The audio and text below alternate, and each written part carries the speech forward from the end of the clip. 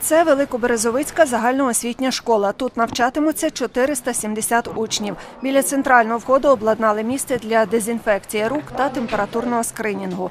Учителька Оксана Граб показує клас, у якому навчатимуться шестикласники. Клас 6 Б йде в першу зміну, тобто вони приходять зранку, пів дев'ятої, 8.30. Вони всі будуть заходити на територію школи і будуть приходити ось в ці двері. Сюди тут постійно буде відкрито. Загалом у школі є 10 запасних окремих входів, через які учні будуть заходити до школи. Директорка закладу Юлія Паньків розповіла, як організують навчальний процес. буде скринінг температурний на брамі школи. Бачите, в нас багато входів в школу є, тому температурний скринінг буде робитися лише тут. Учням ми не будемо міряти температуру, це будуть робити батьки. Е, Далі школа у нас навчається у дві зміни. Тому перша зміна починається в 8.30.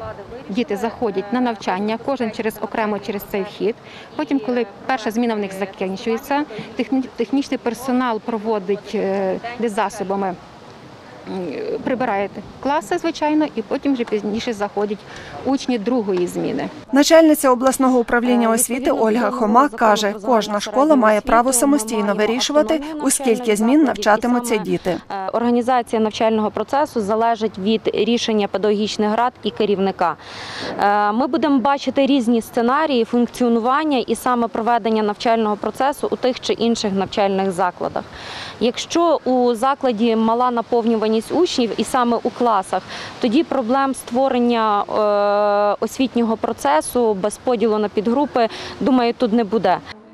А це клас, у якому навчатимуться першокласники. Тут, як і у всіх інших класах, є інформаційний куток про COVID-19. За словами директорки школи Юлії Паньків, дезінфікуючими засобами вони забезпечені. Їх для школи закупили селищна та районна ради. А захисні багаторазові маски, за словами Ольги Хоми, в дітей та вчителів мають бути свої.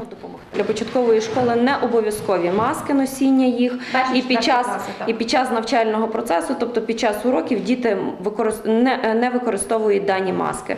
Якщо в них є окремий вхід і вихід, ці діти взагалі можуть не використовувати, тобто початкова школа може не використовувати взагалі масок.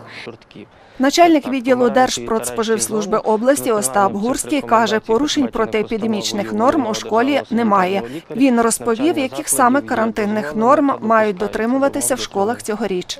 Це, зокрема, щодо проведення температурного скринінгу, недопущення батьків та посторонніх осіб на територію закладу, забезпечення достатнього набору засобів індивідуального захисту для працівників закладу, дезінфікуючих засобів, е, розмежування потоків учнів старших та молодших класів, ну і загалом створення умов для безпечного навчання учнів А це Збаразька школа номер 1 Тут навчатимуться 750 учнів. На подвір'ї школи ми облаштували два класи під свіжим повітрям, зокрема, де учителі музики, образотворчого мистецтва, е, трудового навчання зможуть навчатися на свіжому повітрі.